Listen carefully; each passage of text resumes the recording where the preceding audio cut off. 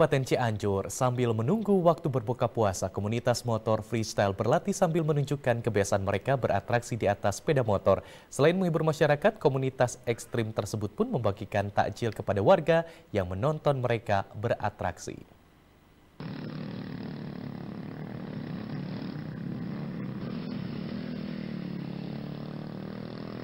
Ini dia para freestyler saat beratraksi di atas sepeda motor di lapangan City Mall Cianjur. Menghibur masyarakat sambil menunggu waktu berbuka puasa, sejumlah trik pun dipertunjukkan anggota komunitas yang rata-rata masih berusia muda ini.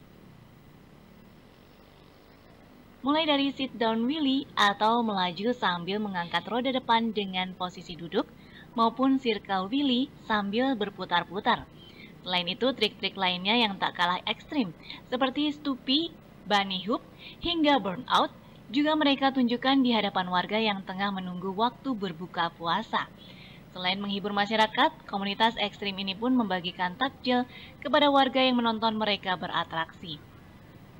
Tujuannya untuk mengajarkanlah anak-anak muda bahwa dididik dari sekarang untuk dibiasakan memberi, berbagi, kita, kita pengguna lah.